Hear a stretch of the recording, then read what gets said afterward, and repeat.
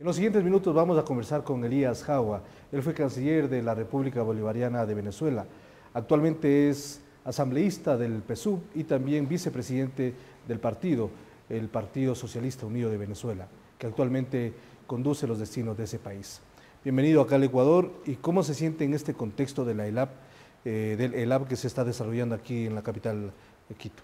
Mira, muy bien, porque es un el encuentro para la reafirmación en positivo de las ideas justas que defendemos los partidos, los movimientos, los proyectos populares democráticos de, nuestro continente. La independencia, la igualdad, todos los derechos para todos los habitantes de nuestros países, el respeto a la diversidad cultural, la ampliación de los derechos y especialmente una reafirmación no solo de lo que hemos logrado, sino reafirmarnos en que tenemos que seguir luchando para lograr lo que nos falta hacia el futuro. Después de varios años en que gobiernos progresistas han estado manejando los países, varios años, en Venezuela 17 años, en Ecuador vamos por la década, en otros países, en Bolivia 10 años, en Argentina 12 años, etc. Eh, como que hay un despertar de la derecha eh, aquí en América Latina, en América del Sur. ¿Cómo está este momento la situación política en la región? Mira, la derecha siempre ha estado activa, no ha dejado de estar trabajando en contra de bloquear los esfuerzos de nuestros pueblos y sus gobiernos populares y democráticos de avanzar en la ampliación de los derechos de todos y todas los que habitamos nuestros países. Creo que hemos sufrido reveses electorales, el caso de Argentina, el golpe parlamentario en el Brasil, el revés que tuvimos nosotros en la Asamblea nacional, pero no, no diría yo que estamos ante un despertar de la derecha. ¿Sabes por qué? Porque no hay un despertar de sus ideas, afortunadamente. O sea, ya nadie en América Latina, ni en Ecuador, ni en Venezuela, compra. Los pueblos, digo, pues, las élites, claro que sí. Las tesis del libre mercado pleno, las tesis de la privatización, las tesis de las bases militares en los países. Esa idea ya no tiene cuerpo en el seno de nuestras sociedades. Por lo tanto, estos eh, triunfos coyunturales que ha tenido la derecha, unos por la vía electoral, aprovechándose de situaciones económicas complejas que atravesamos todos los países producto de la crisis global económica, y otros usando instrumentos inconstitucionales como el golpe parlamentario en el caso de Brasil, tenemos la absoluta convicción de que son coyunturales. Pero ese, pero ese, como ha dicho el presidente Correa y algunos, la expresidenta de Argentina, el plan Cóndor o el plan de siempre está allí, está evidente. Utilizan medios de comunicación, utilizan diferentes recursos y lo están, y lo están ejecutando. Pero la conciencia de los pueblos va a ser más grande que eso. Nosotros confiamos ah, plenamente en eso. El comandante Chávez a nosotros nos formó en el optimismo. Y no en el optimismo metafísico, con el perdón de, de quienes eh, profesan las tesis metafísicas, sino en el optimismo de creer en un pueblo, en nuestros pueblos, que rompieron con todo el modelo neoliberal, que han construido, que han experimentado lo que es la ampliación de sus derechos, que hoy tienen una mayor conciencia de la defensa de sus derechos y eso más temprano que tarde se va a imponer por encima de las estrategias mediáticas, por encima de las guerras psicológicas, por encima de las guerras económicas a las que nos están sometiendo en este momento. En el caso de Venezuela, los grandes medios todos los días nos dan a conocer que es un país prácticamente inviable, que hay mucha pobreza, que la gente no tiene que comer, que hay muchísimas dificultades. ¿Qué mismo sucede en Venezuela? Mira, es toda una tesis destinada a justificar la intervención extranjera en nuestro país, la tesis de la crisis humanitaria. En realidad Venezuela tiene problemas puntuales de abastecimiento. Pero hay problemas. De abastecimiento de algunos productos, claro que lo tiene. Pero mientras hay problemas puntuales de abastecimiento, yo te puedo decir, hace cuatro días comenzaron 10 millones de niños las clases en escuelas públicas gratuitas, con acceso a tecnologías de información, con libros gratuitos, con alimentación escolar para 4 millones de ellos, desayuno, almuerzo y cena.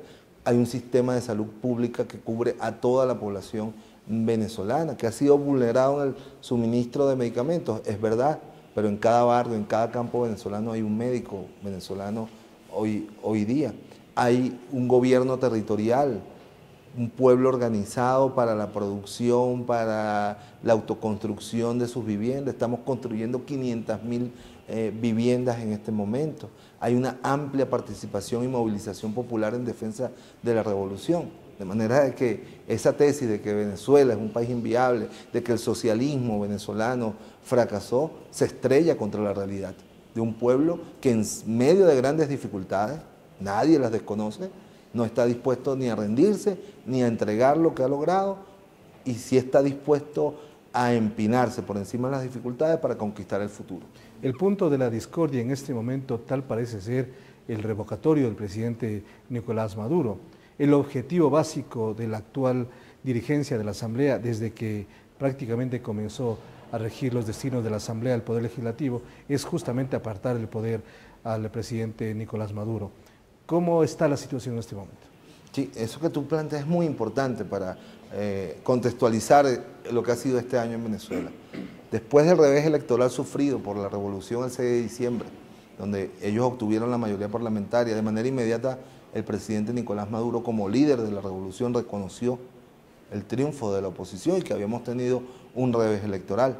El 5 de enero fuimos el bloque de la patria, que conformamos la gran alianza patriótica en Venezuela, a instalar y a juramentar al nuevo presidente de la Asamblea Nacional electo por la mayoría contrarrevolucionaria, en una demostración de nuestra vocación democrática y de nuestro respeto a las instituciones. Ramos Ayú. Ramos Ayú. ¿Cuál fue el discurso inmediatamente de ser juramentado por el plenario de la Asamblea Nacional del señor Ramos Ayú?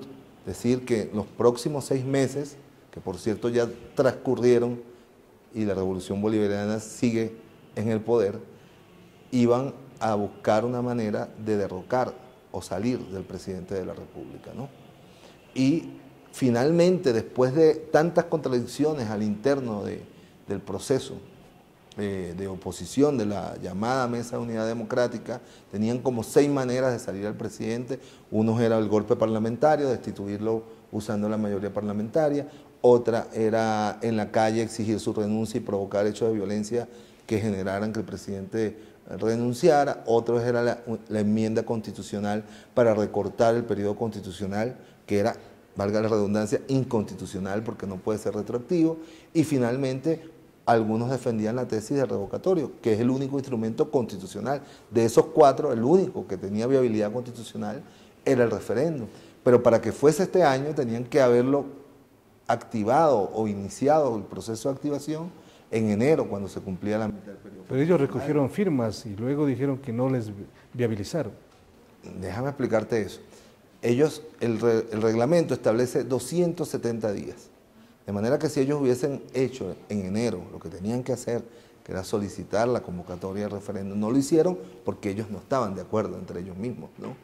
Lo, lo hicieron en mayo y en mayo se les dio lo que es la primera etapa, que es la recolección de firmas para conformar un grupo promotor que convoque a la recolección de firmas. Así está establecido en los reglamentos del Poder Electoral desde el 2007. No es un reglamento que hemos inventado ahora, es un reglamento que el Poder Electoral tiene en el desde el 2007, cuando hubo el referéndum revocatorio para la enmienda constitucional. Y luego se autorizó la recolección del 1% de las firmas ellos dijeron que recogieron 1.800.000 firmas para conformar el grupo promotor. De ese 1.800.000, 605.000 eran firmas fraudulentas, personas fallecidas firmando, personas que no habían firmado, les clonaron su firma, pues le falsificaron sus firmas usurpando su identidad y otro conjunto de irregularidades. Muchas inconsistencias. 605.000 firmas fueron invalidadas por este tipo de irregularidades. Al final quedaron validadas 400 mil firmas.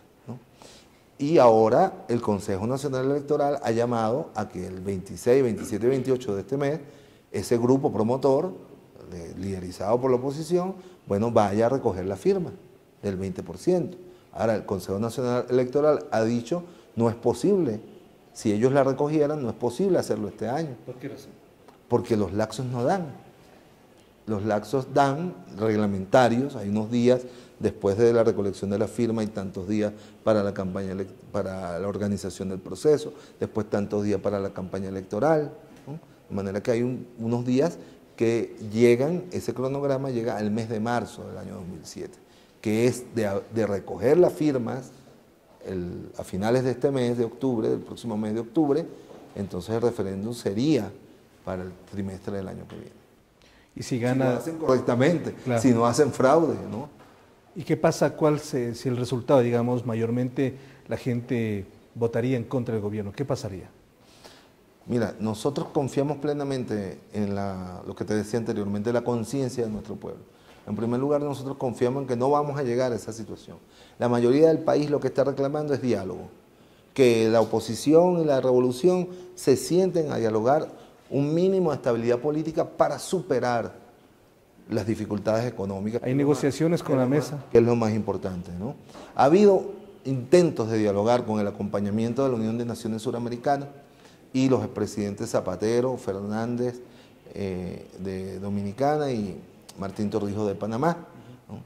Eh, esfuerzos o iniciativas que han sido boicoteadas por los sectores más radicales de la oposición, que lo que quieren es la violencia y el derrocamiento del gobierno por la vía por vías inconstitucionales. De manera que lo que nosotros le hemos propuesto al país, la dirigencia revolucionaria, es vamos a dialogar, vamos a lograr un mínimo acuerdo de coexistencia política y luego vamos a los procesos electorales normales que están pendientes, las elecciones de gobernadores y alcaldes y las elecciones presidenciales en el 2018. Pero una vez que nuestro pueblo haya superado las situaciones que hoy le toca vivir de angustia por los temas de abastecimiento. Una cuestión más, después de Nicolás Maduro, ¿qué viene? Es decir, el liderazgo del PSUV, ¿a quiénes, a quiénes tiene? ¿Cómo renovar justamente la dirigencia? El chavismo tiene un amplio nivel de liderazgo en todos, en todos los niveles, en todos los niveles. Pero nosotros estamos unificados en torno al liderazgo del presidente Nicolás Maduro. Nicolás Maduro es el líder aceptado por la dirigencia nacional, por las dirigencias estadales, locales, regionales, de los partidos aliados, de esta etapa de la revolución bolivariana. ¿Se plantearía una reelección entonces? Sí, sin duda alguna. Es la apuesta que nosotros tenemos. Salir de estas dificultades y que Nicolás continúe, como nos lo pidió el comandante Hugo Chávez, al frente de la revolución bolivariana. Finalmente, ¿el ciclo de los países progresistas ha terminado o no en América del Sur?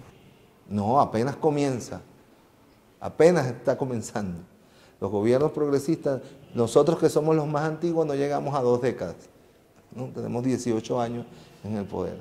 Las oligarquías gobernaron nuestros países por 200 años. De manera que los gobiernos populares, democráticos y progresistas apenas están comenzando. Y en el camino siempre va a haber dificultades, siempre va a haber reveses. Pero la idea fuerza que hoy mueve a los pueblos de América Latina es la que nosotros defendemos.